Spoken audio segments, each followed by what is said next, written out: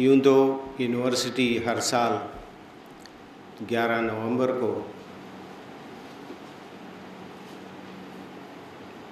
योम पैदाइश Maulana Abul Kalam Azad foundation lecture के हैसियत से मनाती आई है। मगर इस साल ये बिल्कुल ख़ास दिन है। इसलिए कि हुकूमत हिंद ने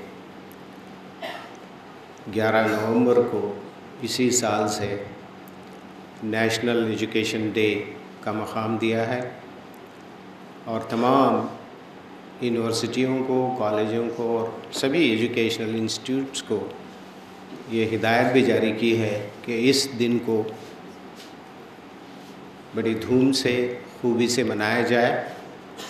और ये ख़ास कर ये ख्याल रखा जाए कि इस दिन को किसी भी सूरत में छुट्टी डिक्लेयर ना करें, छुट्टी ना दें। ये पहली वजह है। दूसरी वजह ये है कि जैसा पीवीसी ने कहा, रजिस्ट्रार साहब ने कहा कि तीन साल पहले प्रोफेसर शेख अली साहब जहाँ तशरीफ़ फरमा थे। इसी मौके पर यूनिवर्सिटी ने उनसे गुजारिश की थी, दरख्वास्त की थी कि मौलाना आज़ाद पे आप कुछ लिखें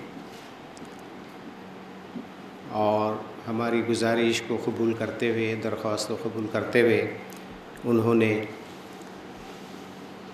एक किताब लिखी जिसका अभी आपने रस्म इजरा जनाब के रहमान ख़ान साहब के हाथों होते हुए देखा और तीसरी खुशी की वजह यह है कि यूनिवर्सिटी ने पहली बार इस दिन में, इस दिन को बड़ी खूबसूरती से, अगर मुकम्मल तौर पे नहीं तो कुछ हद तक जो प्रोग्राम यूनिवर्सिटी ने बनाए लेक्चर कंपटीशन हो ऐसे कंपटीशन हो क्विज़ कंपटीशन हो, जिसमें हमारे तलबा और तालिबात ने हिस्सा लिया और इनाम हासिल किए।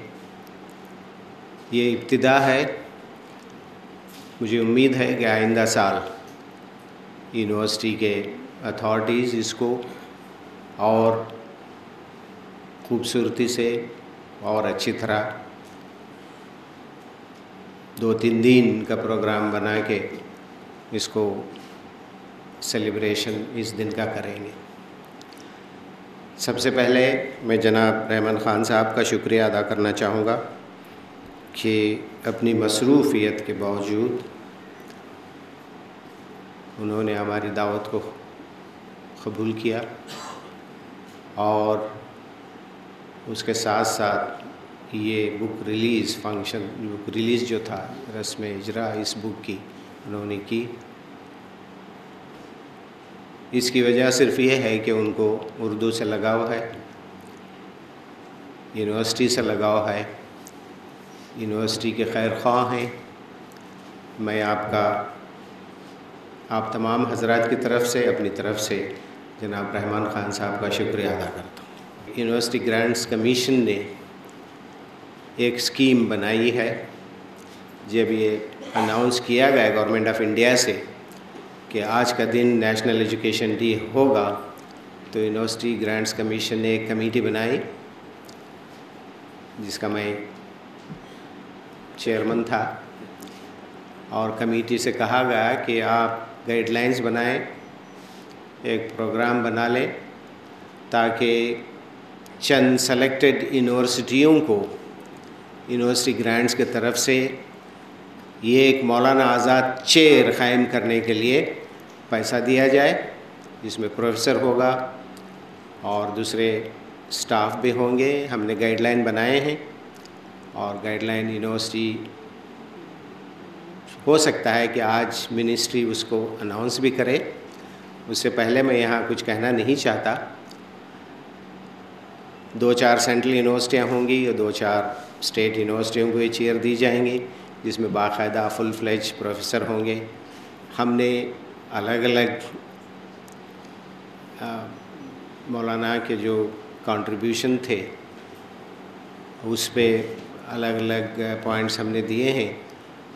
कोई यूनिवर्सिटी उनके कंट्रीब्यूशन उर्दू और पर्शियन ज़बान या अरबिक ज़बान में उनका कंट्रीब्यूशन या सहाफ़त में मौलाना का कंट्रीब्यूशन या फिर कंटेम्प्रेरी स्टडीज़ रिलीजियस स्टडीज़ उसमें कंट्रीब्यूशन होगा।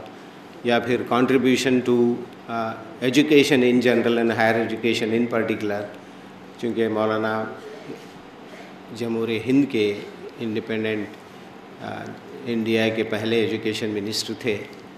बहुत जल्द आप लोगों को पता चलेगा कौन कौन सी यूनिवर्सिटियाँ हैं। इस बात के साथ मैं अपने बात को ख़त्म करता हूँ और फिर एक बार आप सबका शुक्रिया अदा करते हुए अपनी जय